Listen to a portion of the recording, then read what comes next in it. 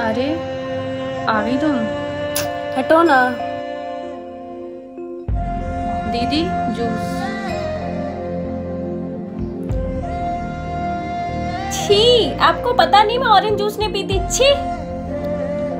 पूरा ना मूड खराब कर देते हो आप।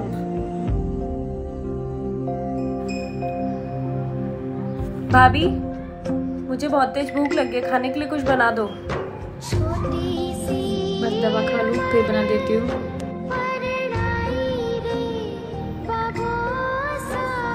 भाभी क्या बना रहे हो? आलू गोभी की सब्ज़ी। मुझे ना पनीर की सब्ज़ी खानी है वो बना दो। हाँ निशु कल तो कॉलेज आ रही है। नहीं कल मैं नहीं आ रही। क्यों? मेरी भाभी ना प्रेग्नेंट है तो कल मैं नहीं आऊँगी यार अरे यार मेरी भाभी भी प्रेग्नेंट है और मैं उन्हें कितना परेशान करती हूँ।